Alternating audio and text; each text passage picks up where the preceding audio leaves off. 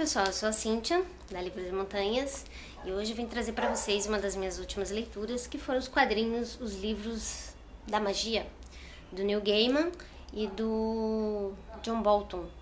Né? Tem alguns outros ilustradores, Scott Hampton, Charles V e Paul Johnson.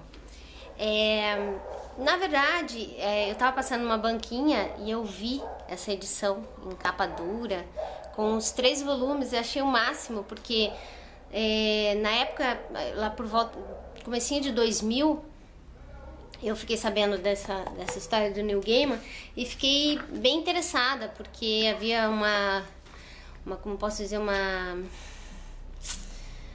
É, alguns comentários sobre o, o, o livro, de, dizendo que a J.K. Rowling, do Harry Potter, tinha plagiado as, a, essa história aqui do Neil Gaiman. Né? Na época eu só consegui achar um exemplar, volume 4, da, dos livros de magia. Não consegui achar os outros, mas em compensação eu achei alguns livros em prosa, escritos, é, é, escritos pela escritora Carlos, Carla Jablonski. Depois eu vou mostrar pra vocês. Mas aí eu vi esse aqui, eu falei, ai que legal, tem os quatro volumes. E eu, né, mais que depressa, fui lá e comprei a minha edição de luxo. Muito legal. E qual é a história? É, na, no, nos os livros de magia conta a história do Timothy Hunter, que é um garoto de 12, 13 anos, skatista.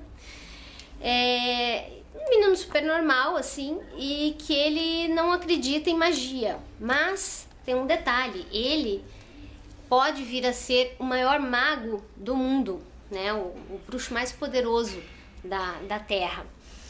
E aí aparecem três, é, três homens encapotados, né? Com sobretudo, que eles se chamam os encapotados.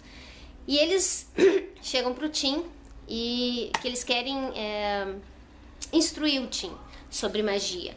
Eles querem mostrar pro Tim o que é magia para que ele possa decidir se ele realmente quer ser um bruxo poderoso ou não.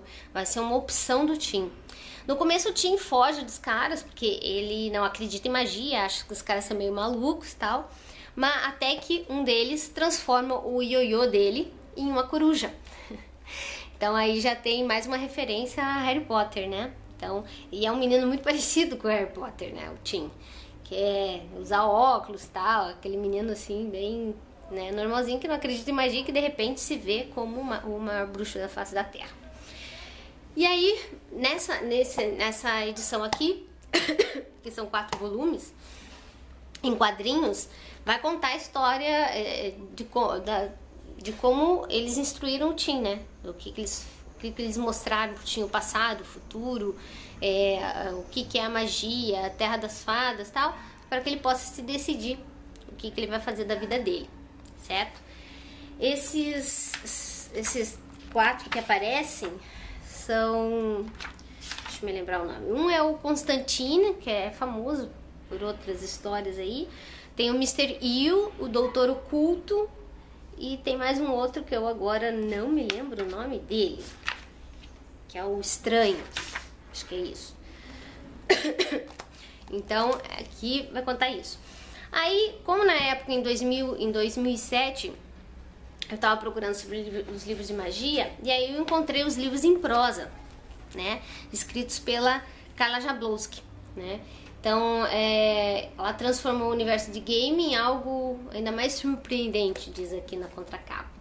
Né? Então, é, aqui ela, esse, esse primeiro volume, que se chama O Convite, vai contar a mesma história que tem nas HQs, nas quatro, nos quatro volumes da HQ, tá?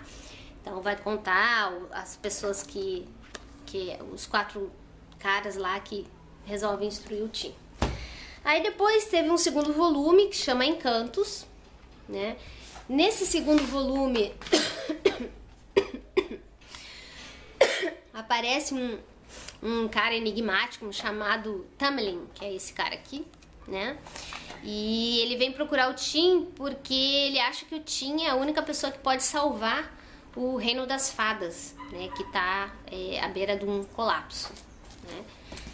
No volume 3, é, o volume 3, que é a Cruzada das Crianças, Tim vai descobrir que existe um mundo é, para crianças em perigo. Né? E esse mundo vai precisar do, dos poderes do Tim para poder sobreviver. Só que o problema é que o Tim ainda está aprendendo a usar a magia dele, né? A conhecer a magia dele. Então vai ser um pouquinho complicado ele salvar esse mundo das crianças em perigo. O quarto volume, que chama Consequências, é, é o volume em que o Tim conta para a melhor amiga dele, a Molly, qual é o destino mágico dele, né? E só que porém é, parece um, um visitante do futuro. É, não, melhor.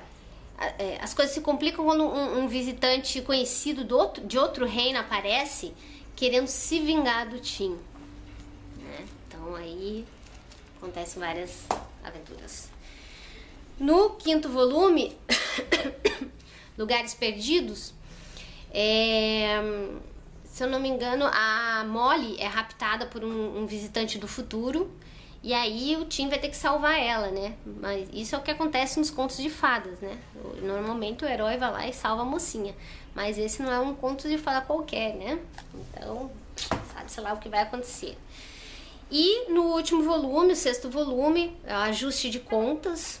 É...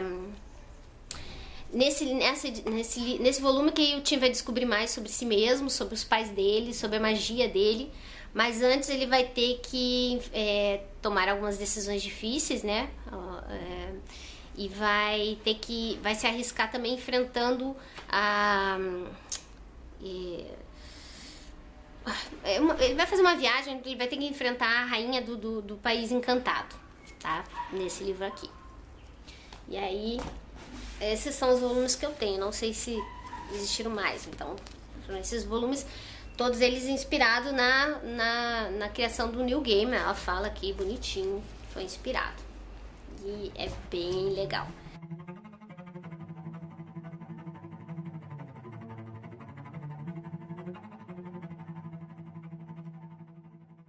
Então, faz muito tempo. Eu não lembro detalhes dos livros, porque faz muito tempo. Eu li esses livros em 2007, só tem 16 anos por aí. Então, eu não lembro de detalhes. Talvez um dia eu releia e faça alguma. alguma. É, algum comentário sobre o livro. Mas esse aqui vale muito a pena se vocês encontrarem na, nas bancas. Não percam, é muito legal, muito legal mesmo. Tá bom? Então é isso. Um grande beijo e até o próximo vídeo.